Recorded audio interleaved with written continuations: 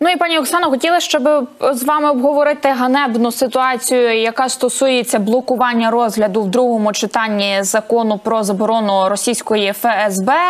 Церкви, як в народі кажуть, що не дає цьому статися? Хто це блокує і чому ми досі не можемо позбутися цієї п'ятої колони в нашій країні?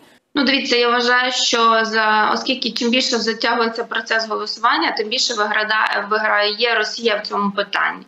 Вона дуже сильно просочує свої наративи. Зараз вони дуже інтенсивно працюють, е, включили всю свою пропагандистську машину за кордоном і намагається нашим не зовсім сформованим народним депутатам сказати про те, що ну, дивіться, зараз не потрібно порушувати ніякі релігійні питання, бо це вплине на наші стосунки з Сполученими Штатами, і дехто на це справді так скажемо простою мовою ведеться.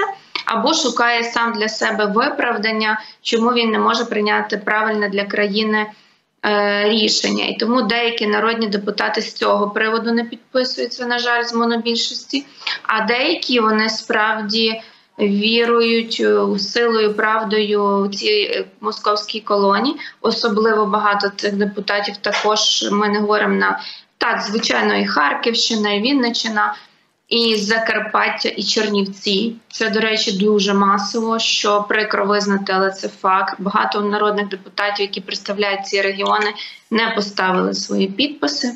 Навіть один представник з Прикарпаття, на жаль, не поставив підпис всього навсього підпис для того, щоб ми внесли це питання до другого читання. Мені здається, що це то питання, яке ми маємо далі піднімати. Та група депутатів, яка це питання прагне проголосувати, тому що це для нас є якась справа честі, максимально це зробити. І те, що Арахамія надає свої позиції, воно підсилює цих е, знаєте, е, е, депутатів, які на жаль не розуміють, що в час війни треба приймати історично правильні рішення, а знаходять постійно причини, щоб їх не приймати. Чим висловлюють фактично, я вважаю, що вони толерують тоді цих російських московських попів, які дійснять проти нас колабораційну діяльність.